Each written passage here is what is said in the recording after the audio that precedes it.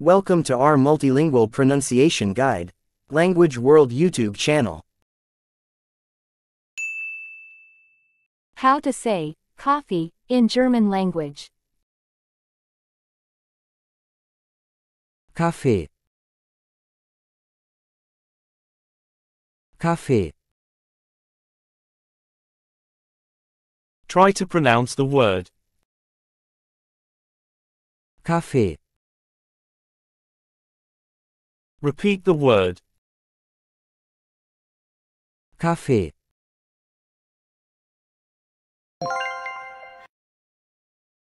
Well done you did great, and thanks for watching.